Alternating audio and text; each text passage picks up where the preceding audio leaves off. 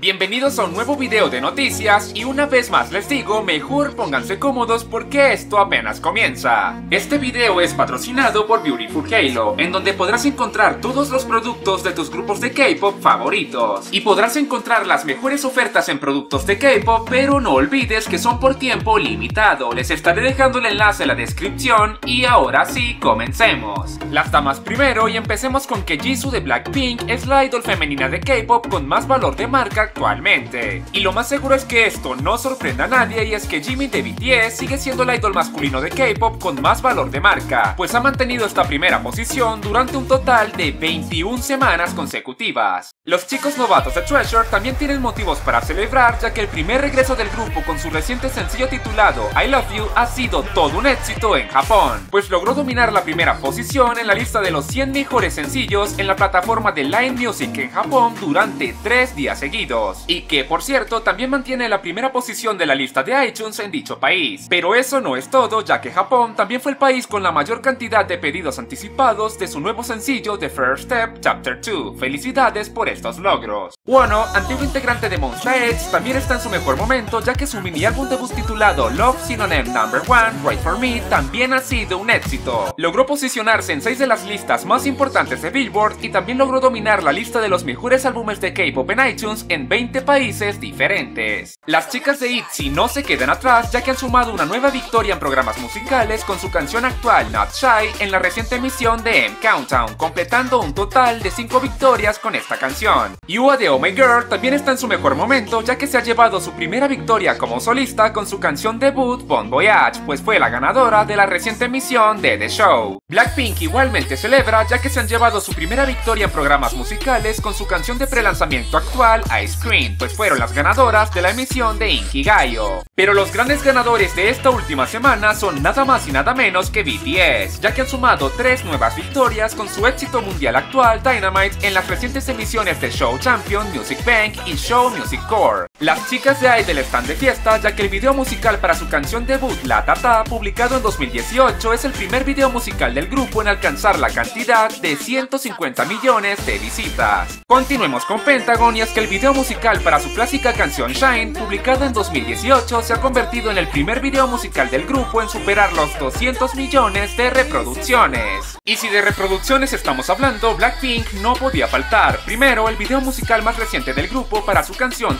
Ice Cream junto a Selena Gomez superó recientemente los 250 millones de visitas. Por otra parte, el video coreográfico para su reciente canción How You Like That superó la inmensa cantidad de 300 millones de visitas. Y lo increíble es que este ni siquiera es un video musical. Y por último, el video musical de su clásica canción Whistle, publicado en 2016, acaba de alcanzar la cantidad de 550 millones de reproducciones en YouTube. BTS cierra la lista ya que el video musical de su éxito de 2019, Boy With Love, superó la increíble cantidad de 950 millones de reproducciones, una verdadera locura. Ya que hablamos de BTS, el grupo fue invitado al primer evento de celebración del Día Nacional de la Juventud organizado por el gobierno de Corea del Sur, donde sus integrantes realizaron un discurso motivador a la audiencia presente, algo que definitivamente deberías ver si eres fanático del grupo. Continuemos con que Jisoo de Blackpink derritió el corazón de más de uno ya que fue la reciente invitada del programa de variedades Delicious Rendezvous de la cadena SBS, en el que cocinó una receta junto a Hichol de Super Junior y la verdad es que no salió para nada como esperaban. Pero sin dudas, el mejor momento del episodio fue cuando cantó junto al elenco del programa la canción Duru de Blackpink. Y bueno, véanlo ustedes mismos.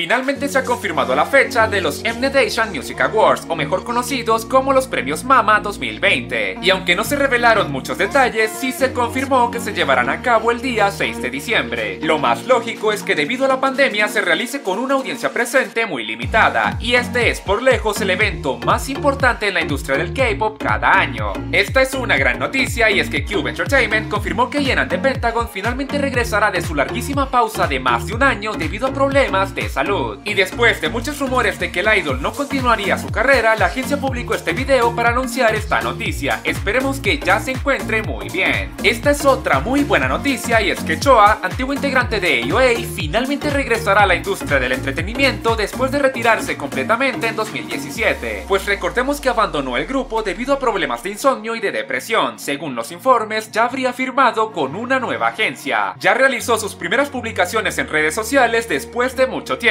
Créanme, esta es una de las idols más increíbles que han pasado por esta industria. Y personalmente ya no aguanto la espera para verla de nuevo. Seguimos con otra gran noticia y es que Wendy de Red Velvet finalmente ha aparecido luego de estar ausente por casi un año desde sus graves lesiones en su accidente en un escenario a finales de 2019. Pues nos sorprende con esta nueva sesión de fotos para la edición del mes de octubre de la revista de moda Beauty Plus. Los chicos de WeEye, quienes definitivamente son uno de los debuts más esperados de 2020, nos bendicen con su primera sesión fotográfica grupal para la famosa revista GQ en Corea, en la que también participaron de una entrevista. De igual manera, 80s, a quienes considero uno de los grupos revelación, dejaron sin aliento a sus fanáticos con esta nueva sesión de fotos para la edición del mes de octubre de la revista Arena. Los chicos novatos de Gravity se reunieron con la revista Harper's Bazaar Korea para una nueva sesión fotográfica que será publicada en el mes de octubre, en la cual también participaron de una entrevista. Ha Sung-gun no se queda atrás ya que apareció recientemente en la edición del mes de septiembre en la revista Squire Korea con esta espectacular sesión de fotos, en la que respondió a las preguntas enviadas por sus fans en un video especial. Continuemos con que Henry y la solista John Somi se juntaron para esta nueva sesión de fotos modelando la nueva colección de ropa exterior de la marca Bearwall, la cual ya está disponible para su compra. Esto todavía no termina ya que Kim Usok de Obtention nos regala esta sesión fotográfica para la famosa revista Taste Korea, modelando para la marca de ropa exterior K2. Pues recordemos que ya se viene el frío en Corea. Yua de Oh My Girl está teniendo mucho éxito en solitario ya que se ha convertido en la nueva modelo coreana para la marca de cosméticos Too Faced. Y ya nos revelaron estas fotos promocionales de la idol modelando para la marca. Blackpink también se une a la lista ya que hace unos días la revista Elle en su versión de Estados Unidos confirmó que las chicas aparecerán en su edición del mes de octubre. Y nos revelaron esta espectacular sesión de fotos la cual me ha gustado mucho. Por otra parte, esta noticia probablemente sorprendió a más de uno ya que se ha confirmado una colaboración entre Blackpink y el popular juego online PUBG Mobile. Y aunque aún no se han revelado muchos detalles de esta colaboración, sí nos revelaron los pósters oficiales de cada una de sus miembros, en los que por cierto se ven increíbles. El 27 de septiembre, Wono, antiguo integrante de Monsta X, llevará a cabo su primer concierto en línea como solista, el cual será titulado Hash I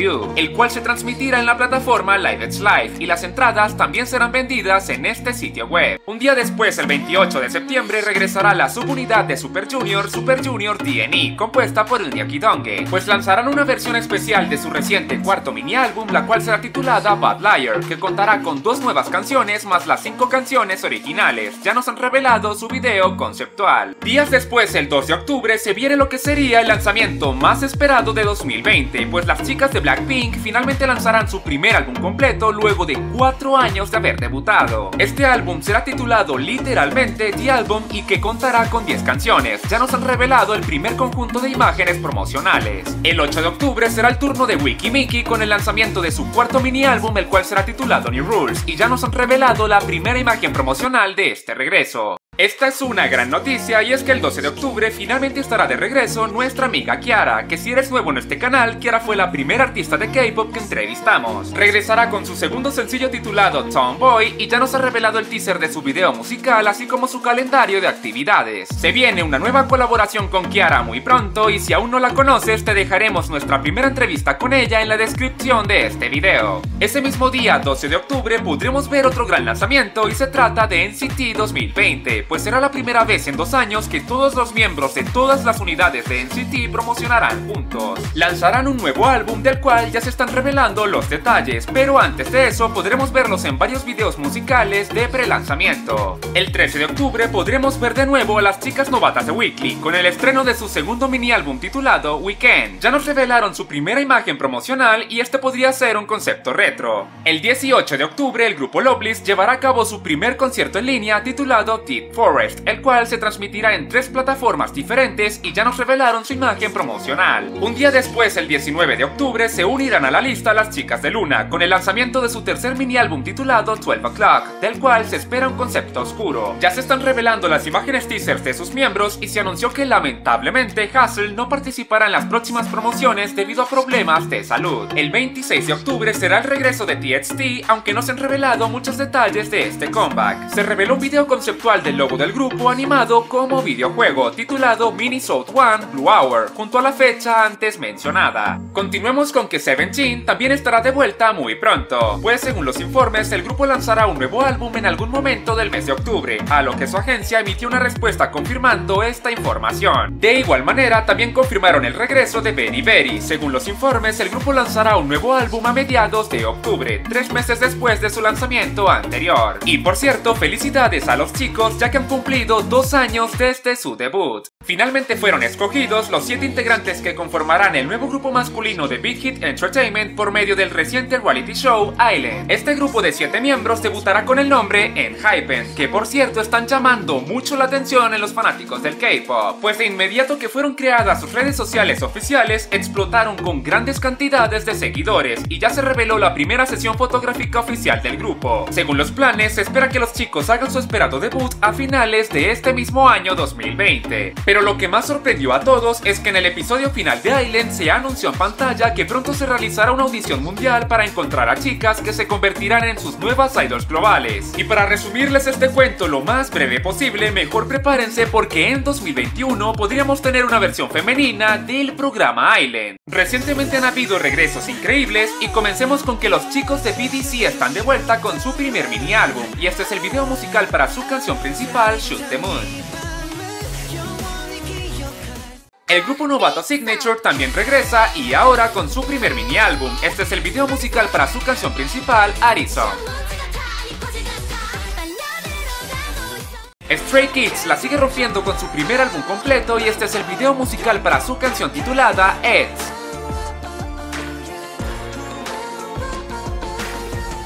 Los chicos novatos de Treasure están de vuelta con un nuevo sencillo y este es el video musical para su canción titulada I Love You. Seguimos con que The Voice no podía faltar ya que también han regresado con otro mini álbum y este es el video musical para su canción principal, The Stealer. Everglow, a quienes considero el grupo revelación femenino, nos han dejado con la boca abierta con el espectacular video musical para su canción La Dida. Ha debutado un nuevo grupo y se trata de los chicos de Ghost Night quienes me han sorprendido. Han debutado con su primer mini álbum y este es el video musical para su canción Think of Down. Y mejor prepárense todos porque los chicos serán los nuevos invitados del canal. Y terminemos con que ha debutado un nuevo grupo musical mixto y se trata de Checkmate, grupo de 5 integrantes que acaban de debutar con su sencillo digital Drum. Personalmente, este debut me pareció espectacular y esta es mi gran recomendación para ustedes en este video. Y la última noticia de este video es que lamentablemente se ha confirmado la fecha de enlistamiento al servicio militar para Joseph the Card. El idol compartió una carta de agradecimiento a sus fanáticos y deberá enlistarse el próximo 5 de octubre. Esperemos que le vaya muy bien.